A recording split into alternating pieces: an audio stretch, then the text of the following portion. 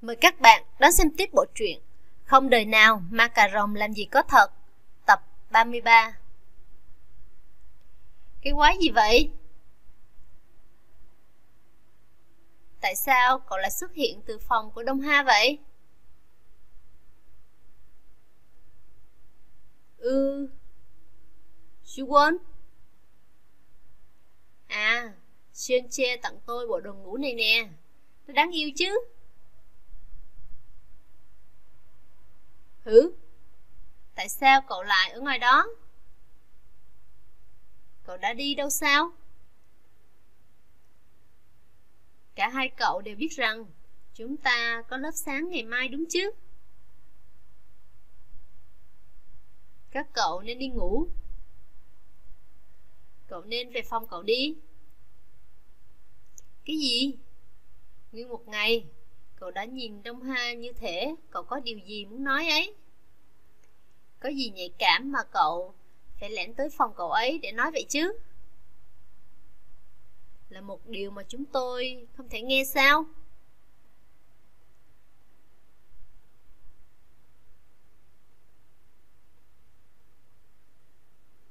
Tôi nghĩ Suwon rất tốt bụng. Cái gì? Cậu ấy thấy không khỏe vì đã uống quá nhiều vào ngày hôm qua, nhưng cậu ấy vẫn lo lắng cho chúng ta. Thật là ngọt ngào mà. Tôi là người đã cho cậu bộ đồ ngủ đấy. Bốp. Ặc quay quanh để tôi nhìn nó như thế nào nào? Như này nó như nào? Trông có được không? Wow, tôi thật sự có mắt thẩm mỹ mà. Nó trông rất tuyệt. Ha ha. Tôi sẽ cho cậu hai hình dáng. Chọn một đi. Cậu định bỏ cuộc hay theo đuổi cậu ấy đây? Xuyên che, đừng khiến mọi chuyện trở nên phức tạp. Úi, ý tôi là phức tạp nó là lỗi đánh máy tôi biết cách. Đánh vần nha. Dù sao thì đừng làm cho nó phức tạp. Hãy quyết định những gì mà cậu muốn làm. Phịch.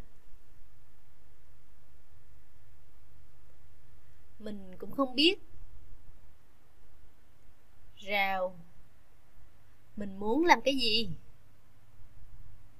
À tại sao mọi chuyện của mình lại không đi tới đâu hết vậy học học Ôi không, Juwon Cậu có sao không?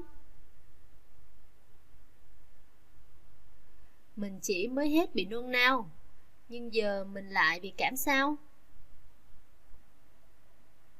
Mặt cậu đỏ cực luôn ấy Có nên gọi cho ngài Kim không? Xem nào Cậu bị sốt sao? Tôi đem khăn ấm tới đây. Nằm ngửa mặt lên đi, Suwon. Học học. Cảm ơn. Cậu nóng quá. Và Cậu đang đổ mồ hôi đầm đìa này. Nó có lẽ khó khăn, Nhưng cậu cần tắm nước nóng và tới bệnh viện. Cậu phải uống thuốc để mau khỏe hơn được không? Được rồi, tôi sẽ hỏi ngài Kim. Đúng vậy, dù sao đồ uống của con người sẽ không tác động lên cậu ấy được đâu. Nếu như chúng ta gọi ngài Kim, ông ấy sẽ xử lý nó. Đi thôi nào, Juwon. Thích ở một mình khi bị ốm.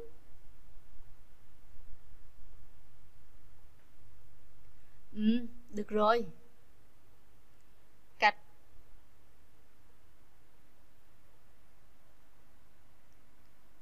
Suwon thích ở một mình khi bị ốm.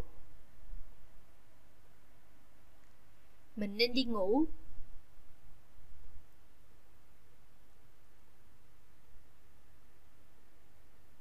Cái? Bột Tôi sẽ ở đây với cậu. Cậu nói dối. Ai lại thích ở một mình khi bị bệnh chứ? Thình.